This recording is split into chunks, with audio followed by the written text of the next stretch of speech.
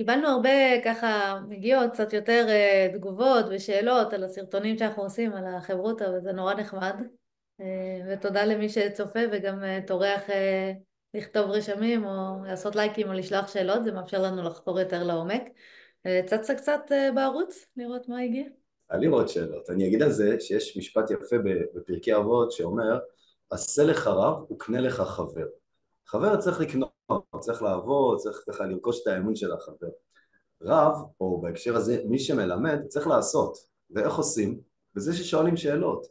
ו- ו- ומכוונים ו- ומטרידים בשאלות, עוד שאלה ועוד שאלה, זה מדייק ומחדד. אז בסדר, לא, לא רבנים, אבל uh, אתם מוזמנים uh, לעשות אותנו בזה שאתם uh, שואלים שאלות במובן הזה, וגורמים לנו בעצם לחדד ולדייק עוד יותר ולהעשיר עוד יותר את החברות שלנו, אז תודה רבה. נכון. אז תודה רבה, ומבחינתי זה גם תרומה ככה לכולם, כי באמת מאפשר לכולם לייצר שיח קצת יותר עמוק ולהבין גם מה הצרכים ומה מעניין לחקור. אז בהקשר של הסרטון האחרון שלנו הגיע ככה, הגיעו שתי שאלות. שאלה אחת לגבי מי קבע מה זה טובת הכלל, כשאנחנו מדברים על טובת הכלל או מדברים על כן, לפעול למען החיים או טוב ורע, אז יכולה לעלות שם השאלה מי קבע, מה, מה הטוב והרע או מה זה טובת הכלל, אז זה מעניין לדבר על זה. ושאלה נוספת שהגיעה לגבי uh, היהדות, ומי קבע מה זה היהדות? Uh, זה נראה שיש הרבה זרמים, הרבה, הרבה מסורות, הרבה כל מיני, כן, שונות בתוך היהדות, אז מי קבע מה זה היהדות ובעצם על איזה יהדות אנחנו מדברים כשאנחנו מדברים ככה בכזאת שמחה וששון על היהדות. אז אני אומרת בואו דווקא נתחיל מהשאלה השנייה. כי השאלה הראשונה של טובת הכלל זה גם אנחנו יכולים להרחיב על זה כשנדבר על מוסר ביהדות ונבין לעומק מה זה מוסר ולמה, אז אולי נשמור את זה, אבל אה, על השאלה השנייה אני מאוד אשמח שנתייחס, מה זה ה... כן? על איזה יהדות אנחנו מדברים ו... אני חושב שזו שאלה מצוינת שנשאלת כל הזמן, מי זו היהדות? זה לא רק שהיום זה כזה, יש זרמים שונים וקבוצות שונות ביהדות, זה תמיד היה, גם בבית שני היו קבוצות שונות, היו, אנחנו לא, אולי מי שלא בקיא בהיסטוריה לא מכיר, אבל היו יהודים פרושים וצדוקים והייתה את כת האיסיים שהלכה להתבודד ב, בים המלח ובאזור כן, של ים המלח. אה, ובמהלך השנים נוצרו עוד כל מיני קבוצות יהודיות הופיעו ונעלמו, הופיעו ונעלמו וכן אפשר לראות איזשהו רצף שהולך ונמשך אה, לאורך השנים עם תנועות קלות אני חושב לכן אה, אני אומר אולי יהדות זה מי שנאמן למקורות היהודים, נמצא איתם בשיח ומתוכם מחפש אה, את הפתרונות או את, ה, את הדרך ללכת בה בימינו. נראה לי שזה יוגדר בתור היהדות. ואני לא צבעתי פה לא את אה, צבע הכיפה אם יש או אין בכלל, וגם לא את הלבוש או המראה או הגדרתי מגזר, אבל אני חושב שמי שמתכתב עם, ה, עם המקורות ולא מתחיל פה משהו חדש, זה בעצם מדבר יהדות בעצם. מה את מבינה, מה זה היהדות? זה נראה לי שאנחנו מבינים אותו דבר ואני אשאל בעצם ממה שאתה אומר, אני אדבר על זה קצת בשפה שלי, ביהדות אין הבדל במהות, המהות היהודית היא תמיד אותה מהות, אם אה, נלך אה, כן, לסיפורים, אה, לתורה וכל הדברים, אז הברית שקראת אברהם עם אלוהים, ולאורך כל הדרך הסיפור, אותו סיפור בעצם שמספר, הוא תמיד אותו, בעצם זה הברית של, שלנו עם אלוהים, של העם הזה עם אלוהים, והעובדה שכל אחד מאיתנו מחדש את הברית הזאת בחייו. או בעצם הוא חלק מהברית המתמשכת הזאת, אז במהות היהדות שלה היא אחידה ואני לא חושבת שיש שם אפילו בין הזרמים השונים, ואני אשמח שתכף תרחיב, שיש בכלל שיח על מה זה היה, על המהות של היהדות, אף אחד לא נראה לי לא יודע מהי, לא משנה מאיזה זרם מגיעים, ואז השונות שאנחנו רואים זה בעצם שונות של צורה. אז יש צורת לבוש כזאת וצורת לבוש אחרת וקריאה כזאת וקריאה אחרת ודקויות קטנות אה, ואולי אפילו פלפולים בתוך הזה, כי נגיד אחד הדברים שאני יכולה לחשוב עליהם, אה, לא שאני יודעת, לא מכירה את זה כסיסמאות, אה, בית הלל, בית שמאי, כאילו ששם אולי אפשר למצוא כאילו הבדלים, שזה נראה כאילו היהדות היא אולי אה, אה, מגוונת וזה, אבל למעשה זה רק עניין של צורה, והמהות היא תמיד אותה המהות, זה נכון אה, לומר? אני הייתי אומר שכן, בוודאי בבית הלל ובית שמאי. אה, יש פה אולי, כן, באמת אה, הסתכלות על הצורה, יותר קפדנות, פחות קפדנות, יותר פתיחות לקבל את אלה שפחות יודעים, או את הזרים, או את הגרים, לעומת יותר סגירות ושמירה על הקיים. זה באמת צורה. אבל אני חושב שהדילמה היותר קשה היא בקבוצות הדתיות שקיימות היום. ובעצם מן הסתם השאלה הזאת מתייחסת לזרמים כמו התנועה הקונסרבטיבית, התנועה הרפורמית, האורתודוקסיה, וגם שם בחלוקה בתוך קבוצות האורתודוקסיות בין, ה, בין העולם החרדי לצורותיו השונות, ששוב בעיניים החילוניות תמיד העולם החרדי נראה הכל שחור כזה, כולם אותו דבר, כולם שחורים, אבל בתוך העולם החרדי זה מחולק לכל מיני קבוצות שונות, לחסידים ולמתנגדים ולחסידויות שונות ותפיסות שונות ביחס לכל מיני דברים. בעיקר, אני מסכים איתך שבעיקר זו הצורה, הפרקטיקה, איך בדיוק ייראה בית הכנסת, זה ויכוחים שלמים אירועים לאומיים, כן מחיצה, לא מחיצה, כן גברים ונשים ביחד, לא גברים, זאת אומרת, הבית כנסת הוא אותו בית כנסת, תפילה אותו תפילה, חזון הוא אותו אה, עולם מתוקן שדיברנו עליו בפעם הקודמת, אביגר זאב עם כבש, אה, ונמר עם גדי ירבץ וכל הדברים האלה, אבל, אבל הפרקטיקה, מה מותר ומה אסור, על זה בעיקר בעיקר הוויכוחים. אני חושב שאם הרפורמים הקלאסיים של גרמניה, של ראשית ימי הרפורמה, בתקופת ההשכלה, שם הוויכוחים הם גם על, גם על מהות, על האם תורה מן השמיים כן או לא. על זה היו ויכוחים.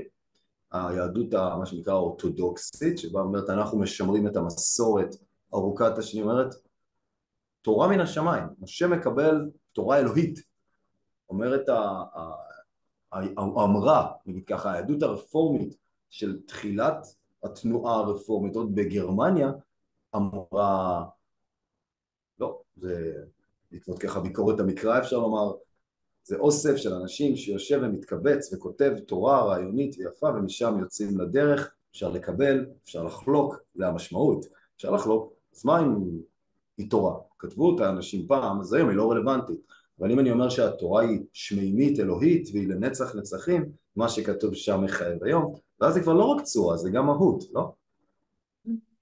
אה, זה מעניין, כי אני אגיד, אה, זה עדיין נכנס בתחום של הצורה, כי על התורה אף אחד לא חושב שיש לה שתי פנים, בסופו של דבר. כלומר, גם אם אנחנו אומרים האם התורה היא אלוהית או התורה היא אנושית, התורה עצמה היא אותה תורה. כלומר, כל מי ש... כל הזרמים השונים של היהדות ידעו שמדברים על התורה שניתנה בהר סיני, ידעו שמדברים על עשרת הדיברות, ידעו שמדברים על כל המצוות והחוקים, איך לעשות אותם, מה לעשות, מה החשיבות שלהם, שם אולי יכולים להיות הבדלים, אבל התורה עצמה היא ברורה, החוק, ה, כן, הדת, התורה. אבל השאלה היא כמה זה מחייב. כי אם כן, אני אומר שזה יצירה אנושית, סליחה, זה עדיין צורה.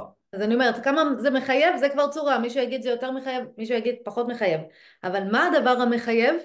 הלב של היהדות, מה הדבר המחייב? התורה עצמה, מה הדבר המיוחד הזה שהגיע לעולם בצורה הזאת הכתובה, כן, של כל הידע, של החוקים, של המצוות, זה נראה לי כולם עוקבים אחרי אותה תורה, זה לא שפתאום מישהו יביא תורה אינדיאנית ויגיד, אה, זאת התורה היהודית. כאילו שמה לא נראה לי שיהיה ויכוח אי פעם.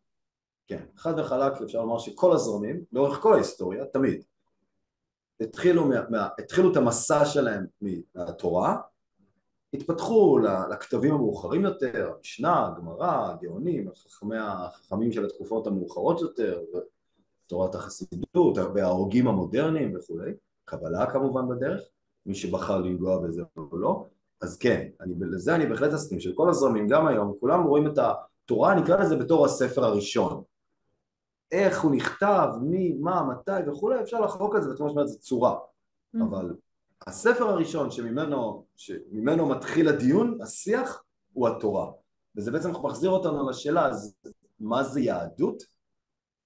זה כנראה כל מה, בעיניי, או ככה אני רואה את זה, זה כל מה שמתכתב עם המקורות היהודיים עד התורה.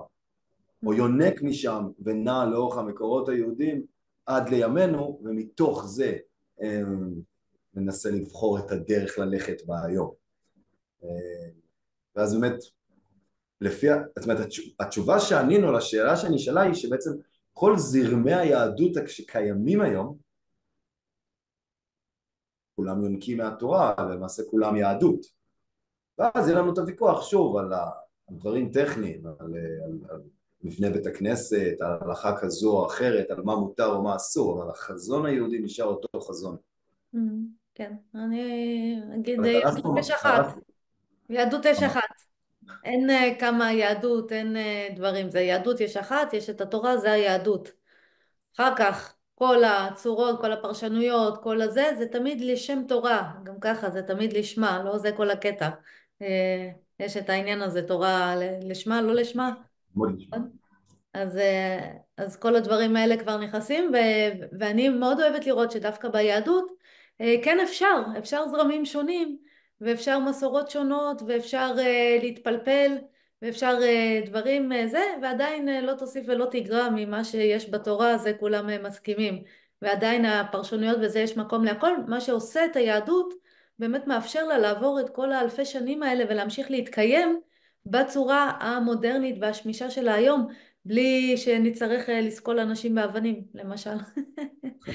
כל מיני דברים. נכון. כן ובאמת... אם לוקחים את התורה, אם לוקחים את התורה כתורה, אז כן, בטח יש מצוות ויש לסקול ויש להרוג, אבל כבר בתקופת המשנה הוא שבית דין שהיה הורג פעם ב-70 או 100 שנה נחשב בית דין קטלני, לא, לא להורג אנשים, זה לא היה מקובל בהיסטוריה היהודית בכלל, למעט מקרים מאוד מאוד ספציפיים ובודדים כנראה, זאת אומרת, מתוך התורה, מתוך השיח של התורה, ישר, ישר ינקו משם ויצרו אבל איזושהי דרך והיא הולכת ומשתנה, כי אם שוב, אם נסתכל על היהדות של ימי בית ראשון, היא הייתה כל כולה מבוססת על בית המקדש. כל החקלאים היו מגיעים בשירים, בשמחה ובריקודים, להביא איזה קורבן תודה על השפע שיש להם עכשיו ביקב ובגורן ובשדות, וזה היה מרכז היהדות, לא היה מלא מלא מלא מצוות כמו שיש לנו היום, או זה בבית ראשון, בבית שני כבר יש יותר למידה, יותר לימוד, גם יש פה השפעות יווניות שהגיעו למזרח התיכון, וכמובן מתחילים פילוסופיה ולמדנות, מעבר לרק להיות חקלאים ואז בעצם, אה, אה, וגם שם עדיין אבל בית המקדש הוא המרכז ופתאום נחרב בית המקדש ובאמת חכמי ישראל בגמישותם אמרו אוקיי מה עכשיו? ומיד מתחילים ליצור יהדות חדשה והתפילה מקבילה לקורבנות וזה במקום זה ויוצרים פה יהדות חדשה שאת רובה אנחנו מכירים היום מאוד מאוד דומה למה שיצרו אחרי החורבן. זאת אומרת מה שאת אומרת זה בעצם, יש פה איזה גמישות וזה יכולת לנוע, שוב, יונקים מתוך התורה, מתוך הרעיונות, אל תוך המגמות של התורה, אבל, יכול, אבל מתאימים את ההלכה שהולכת איתנו בעצם אל המציאות העכשווית היומיומית, ומכאן בעצם אפשר להמשיך לצמוח כעם, כי שוב, אחרי חורבן בית המקדש השני, הפולחן היהודי או הדרך היהודית הפרקטית, הצורה נעלמה, לא נשאר שם כלום כמעט, ויכלנו להיעלם, גם פיזית וגם רוחנית.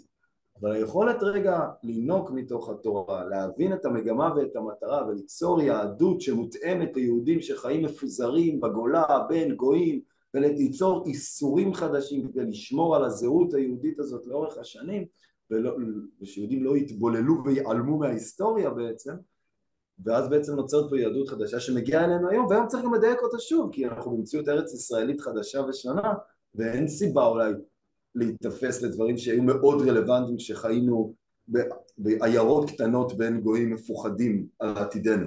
היום כאילו המציאות היא אחרת וגם היהדות אולי צריכה לקבל איזה, איזה טוויסט בעלילה למקומות אחרים אה, של אה, כי מציון תצא תורה, וואו, כאילו זה יהדות של אה, נתינה של חוכמה לכל העולם ולא רק משהו קטן כזה בבית מדרש, הלוואי. כן, ואני אגיד אולי לדייק קצת, אני לא הייתי משתמשת ביהדות חדשה כמו יהדות מתחדשת. כי יהדות היא לא חדשה, אף פעם לא הייתה חדשה, היא תמיד אותו דבר, וזה בעיניי אחד הדברים שחשוב לזכור כמו שהבהרנו עכשיו. אבל היא כן מתחדשת כדי להתאים את עצמה לתקופה, כמו שהעברית היא שפה מתחדשת, שזה גם אחד הדברים הגאונים שידענו לעשות. אז אה, גם פה הגאונות הזאת של לקחת בדיוק את אותה תורה ולהתאים אותה כל פעם לתקופה מאפשר לה להיות חיה, מאפשר לה להיות אמיתית, מאפשר לה להיות משהו ישים ובעצם זה רק הפרקטיקות, הטכניקות שמשתנות, שמאפשרות להמשיך לשמור את הברית, להמשיך לשמור את הקשר, להמשיך אה, לשמור את התורה, גם בזמנים חדשים. אז אה, יהדות מתחדשת, ועוד דבר שבעיניי הוא כל כך, כשמבינים שהמהות של היהדות היא אחת, ואין שם ויכוח בין המסורות השונות, בין אפילו אני אפשר להגיד בין חילונים לחובשי כיפה, לחרדים, לחסידים, ל... לא יודעת מה, תביא את כולם, אין לנו ויכוח במהות של היהדות. ואז אם אנחנו יודעים שיש מקום אחד שבו אין לנו ויכוח לגבי המהות של היהדות, וזה המקום גם שכולנו מחוברים אליו, לא משנה מה הכרה שלנו, תגידו לנו לא, כולנו נולדנו יהודים, זה עובדה, אז אה, אם יש מקום אחד שהוא אה, כולנו מסכימים עליו וכולנו כפופים לו בכל מקרה, זה גם המקום שבו כולנו יכולים להסכים. ומהזהות היהודית הזאת, שהיא בלתי תלויה בפרשנות ובטכניקות, אה, למצוא את הבסיס המשותף שלנו, את המחנה המשותף, ומשם להמשיך להסתכל או להתחיל להסתכל על החיים שלנו, להסתכל על החיים שלנו בארץ ישראל, להסתכל על החיים שלנו בכלל כעם ולפעול משם. ואני חושבת שזה עושה את הדרך לאחדות קלה מאוד כי אנחנו כבר מסכימים על איפה ומה אנחנו מאוחדים ורק צריכים להסתכל קדימה משם. זה יפה, פשוט כאילו, כאילו רובנו כזה עם הראש בתוך המים וכל הזמן קוראים ככה את מה שמסביבנו כועסים על השכן, על הפעולות, על הצורה שלו, במקום רגע להתרומם למעלה, להתבונן על כל הקבוצות לכאורה, לכאורה השונות, לראות את המהות המשותפת המזוקקת לכולם, ומתוך זה ליצור את האחדות, זה מה שאת אומרת. כן, אה, זה מעניין הדימוי השונה שאתה משתמש, ואתה מדבר על להסתכל למעלה, אני אגיד זה לחזור אחורה לשורשים. Okay. אוקיי. לחזור לאיפה שכולנו מאוחדים, אם אני מסתכלת על זה, נגיד, זה דוגמה של ענפים של עץ. כן, אז mm. אנחנו יכולים לחשוב על איחוד ולנסות לאחד את כל הענפים, אבל אין היגיון בזה, למה לא פשוט ללכת לגזע, איפה שכבר כל הענפים השונים מאוחדים. אה, mm-hmm. עבודה הרבה יותר קלה וגם הרבה יותר טבעית, כי אנחנו לא רוצים לעקם את כל הענפים לענף אחד, אנחנו רק רוצים להבין שהם מחוברים בגזע. אז ההבנה הזאת של המהות של היהדות, זה ההבנה של החיבור של כולנו, חילונים ודתיים וחרדים וכולם, איפה אנחנו מחוברים, והאמת שזה קצת מוביל גם לסרטון הבא שהייתי רוצה שנדבר, לשיח הבא, אה, של בעצם לדבר על המהות של היהדות, שבעיניי זה יראת, אה, יראת השם, ולהבין את זה קצת, לדבר על המהות של היהדות בהקשר הזה. אז אה, מה אתה אומר? כן, אנחנו לשיחה הבאה.